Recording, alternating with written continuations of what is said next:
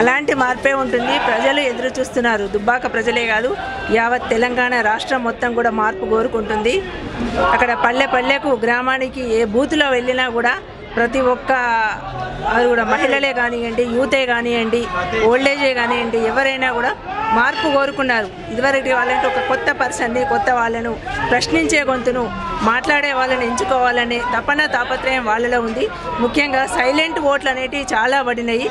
అంటే బహిర్గతంగా బయటకు చెప్పకుండా మార్పు కో- కోరుకోవాలని ఎక్కువగా మహిళలలో యూత్లో చాలా కూడా ఎక్కువ ఎక్కువ మందిలో యొక్క వాళ్ళ యొక్క మేము వాళ్ళ దగ్గరికి వెళ్ళినప్పుడు భారతీయ జనతా పార్టీ నుండి వాళ్ళ దగ్గరికి వెళ్ళినప్పుడు ఓటు కోసం వెళ్ళినప్పుడు వాళ్ళని అడిగినప్పుడు వాళ్ళలో వస్తున్న వస్తున్న దాన్నే మేము ఆధారంగా తీసుకున్నాము. కాబట్టి వచ్చే దాంట్లో కూడా ఎక్కువ మెజారిటీ అంటే అది మనం ఒక్కొక్క బూత్లో ఒక్కొక్క విధంగా ఉంటుంది కాబట్టి ఎక్కువ మెజారిటీ కాకపోయినా తప్పకుండా భారతీయ జనతా పార్టీ గెలుస్తుంది. ప్రజలంతా ఎదురు చూస్తున్నారు. ఎవరికంటే ఒక ప్రశ్నించే గొంతుకు పట్టం కట్టాలి. తెలంగాణ రాష్ట్రంలో మార్పుకోవాలి ఇదే టీఆర్ఎస్కి కౌంట్ డౌన్ అనేది దుబ్బాక నుండే స్టార్ట్ అవుతుంది అనేది అక్కడి ప్రజలలోనే ఉంది. అంటే అక్కడి ప్రజలే తీర్పిస్తారు ప్రజలే గుణపాఠం చెప్తారు అనేది ఒక ప్రత్యేకమైన నిదర్శనం అని చెప్పుకోవాలి. ఈరోజు రఘునందన్ రావు గురించి ప్రజలంతా కూడా అనుకుంటున్నారు. ఒక మంచి వ్యక్తి ఒక మంచి వారిని ఎంచుకోవాలనేది ప్రజలల్లో వచ్చింది. ఎవరు ఎంత చేసినా కూడా వాళ్ళల్లో రావాలి కాబట్టి వాళ్ళల్లోనే వచ్చింది. ఒక ప్రశ్నించే గొంతును అంటే వాళ్ళు నిలబడ్డ అభ్యర్థులలో డిఫరెన్స్ కూడా చూసుకున్నారు వాళ్ళు. ఒకసారి అవకాశం ఇద్దామనేది వాళ్ళ మనసులలో ఉంది. కొన్ని కారణాల వల్ల అంటే కొందరు కార్యకర్తలు అక్కడ ఉన్న నాయకులు మీకు ఏంటిది పెన్షన్ పోతుంది మీకు ఆధార్ కార్డు పోతుంది మీకు వచ్చే రాయితీలు పోతాయని వాళ్ళందరూ కూడా బెదిరించారు. బెదిరింపులకు ఎవ్వరు కూడా ఏమో తలొగ్గలేదు. వాటిని అన్నిటిని కూడా మనసులో పెట్టుకొని వాళ్ళు చేయాల్సిన పని చేసిండ్రు. చేయాల్సిన పని కూడా చేస్తున్నారు.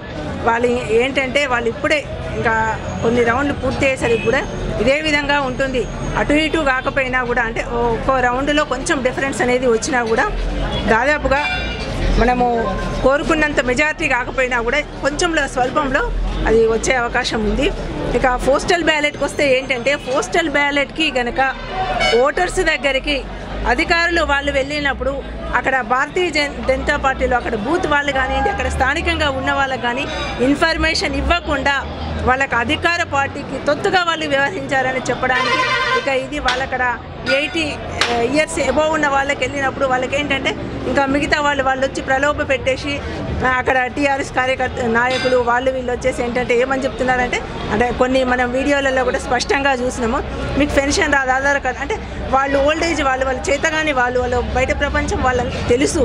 అయినా కూడా వాళ్ళు పోతుందేమో మళ్ళీ ఎవరు తిరుగుతారనే ఒక బాధలో ఇబ్బందిలో కూడా వాళ్ళు వాళ్ళకి అన్ని రకాలుగా వీళ్ళు చేసేసి ఓటు వేయించుకున్నారు. కానీ వాళ్ళు కూడా పూర్తిగా ఆలోచించారు. వాళ్ళల్లో అందరూ కూడా వేయలేదు. కొంత మెజారిటీ అనేది పోస్టల్ బ్యాలెట్ విషయంలో కొన్నిట్లలో ఓల్డేజ్ వాళ్ళ విషయంలో వచ్చింది.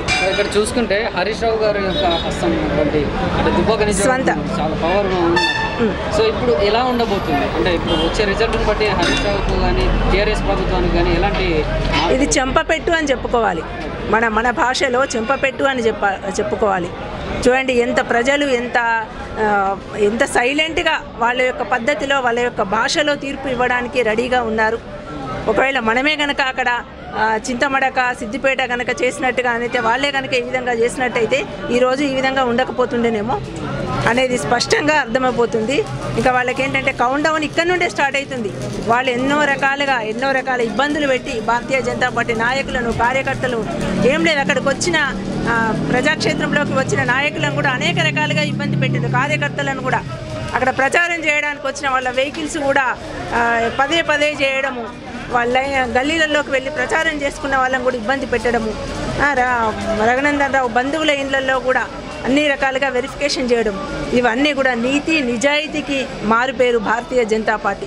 భారతీయ జనతా పార్టీ కార్యకర్తలు నాయకులు అందరూ కూడా ఏ కల్మషం లేకుండా పార్టీ ఎజెండా మీద పనిచేస్తారు జెండా కోసం పనిచేస్తారు అంత సమన్వయంతో పనిచేస్తారు. కాబట్టి ప్రజలు కూడా అదంతా కూడా గమనిస్తున్నారు. దుబ్బాక అభివృద్ధి కావాలంటే ఒక సరి వ్యక్తిని ఎంచుకోవాలి.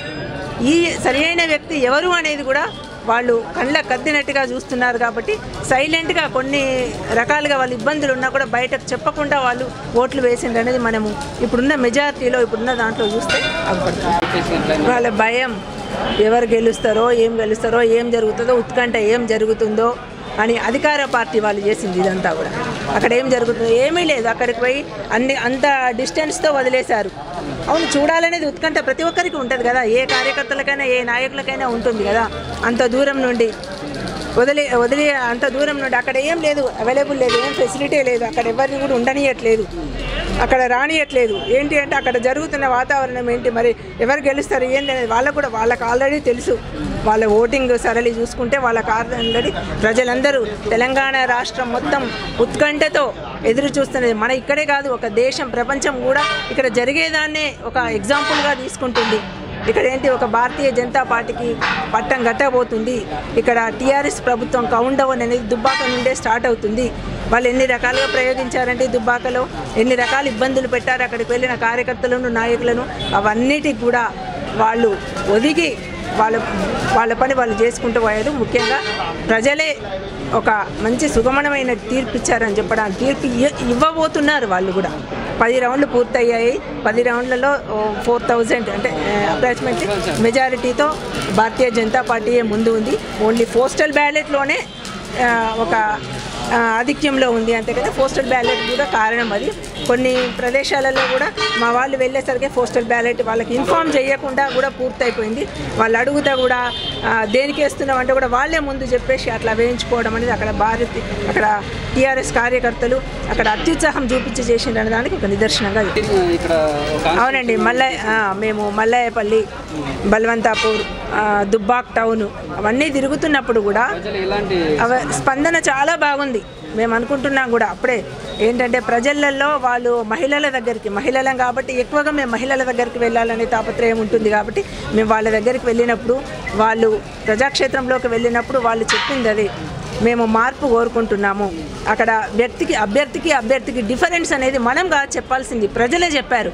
అంటే వాళ్ళలో ఒక క్లారిఫికేషన్ వచ్చింది ఒక క్లారిటీ వచ్చింది అని చెప్పడానికి మాకు అప్పుడే డిసైడ్ అయిపోయింది. ఏంటంటే వాళ్ళు ఒక వ్యక్తికి ఒక వ్యక్తికి డిఫరెన్స్ చెప్పారు. ఇక్కడ ఏదో అయాన్నో భయాన్నో బెదిరించి ఇచ్చినా కూడా ఏం చేసినా కూడా మేము ఓట్లు వేయము. మేము సరి అయిన వ్యక్తిని ఎందుకునేది మా మనస్సులో ఉంది.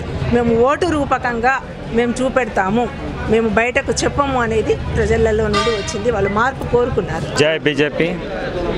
మేము ఒక మల్లన్న సాగర్లో మునిగిపోయిన ఒక ముప్పు బాధ్యతలు వాళ్ళ ఉసురు తలిగి కేసీఆర్ హరీష్ రావు మీరు ముంచిన మా ప్రజల ఒక మా బతుకు తెరువుల ముంచి మీరు ఏ ఏ పట్టమైతే ఎక్క ఎక్కాలనుకుర్రో ఆ ఎక్కిన మొదటి మెట్లోనే దెబ్బగొట్టి రామున్ లాంటి మా రగన్న గెలుస్తుండు.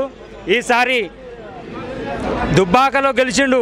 మళ్ళీ వచ్చే ఎలక్షన్లో సిద్దిపేట కానీ గజ్వెల్లో కానీ బీజేపీ జెండా ఎగురుతుంది.